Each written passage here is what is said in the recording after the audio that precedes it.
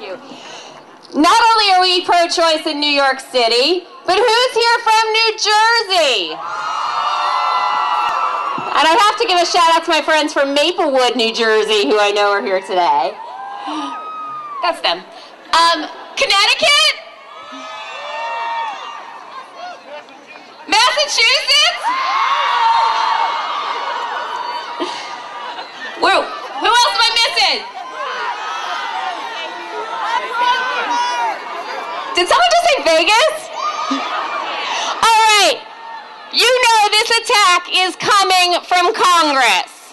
But you know we have a really good group of friends in Congress. And one of those women is with us today. This is the fabulous Carolyn Maloney, Congresswoman Carolyn Maloney. I'm just going to let her talk. Thank you. Thank you for being here. Thank you to Planned Parenthood, the organizers. And we are here today to say no to John Boehner and the right wing extremists. They are wrong. And we are here today to speak for a woman's equality, her right to choose, her reproductive freedom, and in support of Planned Parenthood. The current Republican attacks on women's personal liberties, our access to reproductive health services, and our right to life-saving medical care is stunning in its scope, appalling in its indifference, and outrageous in its arrogance. Their proposals go far beyond anything in current law. It is the most right wing, destructive attack on a woman's right to choose that I have seen in my lifetime.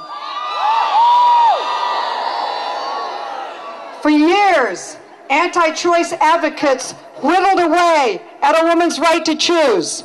And I kept a scorecard on women's issues that shows these attacks.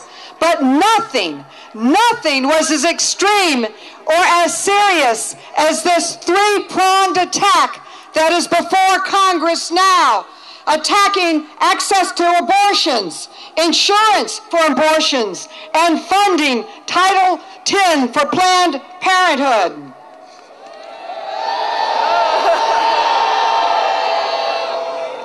Last week, the Republican GOP passed without a single Democratic vote, taking away funding, targeting women's successful access to birth control and family planning. They successfully in the House defunded Planned Parenthood. We need our president. Those that are trying to eliminate Planned Parenthood do not care about women. They don't care about health. And they certainly don't care about reducing the numbers of abortions. If they did, they would not try to eliminate funding for the single largest provider of family planning services in the entire country. The single largest provider of testing for breast cancer 830,000 examinations each year. Thank you, Planned Parenthood. The single largest provider of testing for cervical cancer. One million pap smears each year. Thank you, Planned Parenthood. The single largest provider of testing for sexually transmitted diseases. Four million tests each year. Thank you, Planned Parenthood. If the Republicans get their way, many women will have nowhere to turn, and they will, many of them, die from breast cancer, cervical cancer, and other diseases. The right wing Republicans are using their power not to grow our economy but to invade even the most personal areas of a woman's life, coming between her and her doctor, and they are wrong. Not one of these proposals from the Republicans would create a single job, decrease the deficit, expand the economy, increase our freedom, or ensure our liberty. I call upon all Americans, and particularly our senators and our president, to stand up, fight off this right wing attack, say no to the cuts in Planned Parenthood, say no to the attacks on choice. Say no to the anti-woman, anti-health agenda. And stand up for us. I know that I will be fighting every step of the way. And now, my friends and colleagues, my brothers and sisters, if we want things to change, we know that it is not enough to just be here today. We know that we need to make our voices heard again tomorrow.